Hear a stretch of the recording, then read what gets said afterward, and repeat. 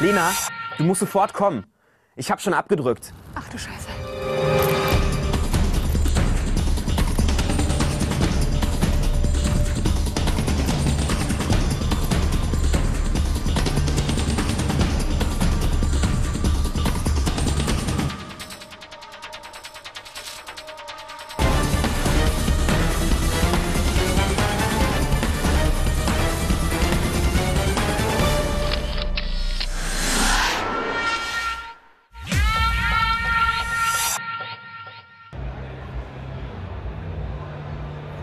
Lena rennt.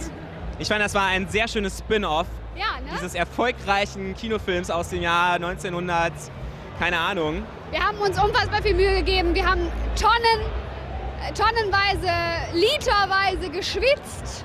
Ja, in Ähm. erster Linie du, ich ja nicht so. Ja, ist richtig. Also ich, ich habe geschwitzt wie Sau. Blut und Wasser. Ich habe dafür schon mal abgedrückt, aber das ist ja auch was wert. Ja. Das hast du sehr gut gemacht. Danke.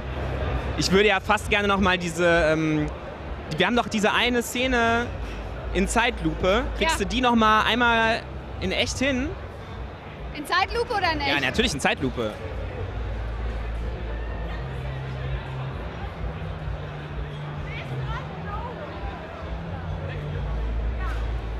Na, jetzt aber, oder?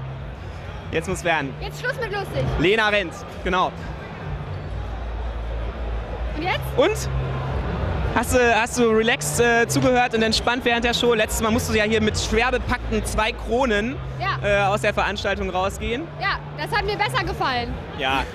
Naja, nee, aber ich, ich kann mir schon vorstellen, dass du trotzdem hier viele Leute kennst und äh, oder kennengelernt hast im letzten Jahr Ja. und äh, den einen oder anderen doch gleich hier noch zum Tanzen auffordern wirst oder nicht.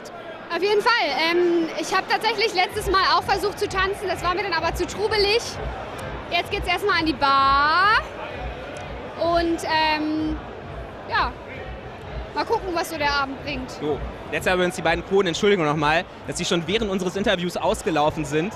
Ja. Ich habe diesmal persönlich gecheckt, ja, dass das alles in Ordnung geht. Hast du dir eigentlich nochmal deine Dankesreden vom letzten Mal irgendwie angeguckt? Das war ja schon ein bisschen Überrumpelungsstyle von uns, dass du auch zwei Kronen dann bekommen hast und auch entsprechend zweimal auf die Bühne gehen musst. Ja, voll. Äh, nee, ich habe es mir ehrlich gesagt nicht nochmal angeguckt. Ich, hab, ich gucke mir nichts von mir an.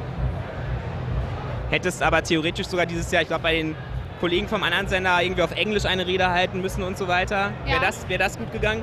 Ich glaube, das wäre total schief gegangen, ehrlich gesagt. Aber meine Reden gehen ja auch auf Deutsch schief, deswegen ist das egal. Nein, so war das nicht. So schlimm ist es gar nicht. Was ist denn jetzt nach, äh, nach Lena Rent? Kommt da jetzt noch was? Ich meine, du hast ja auch schon? Synchronsprechen gemacht. Du hast dann diesen What a Man Song gemacht. Müssen wir uns da jetzt äh, 2012 auf was vorbereiten?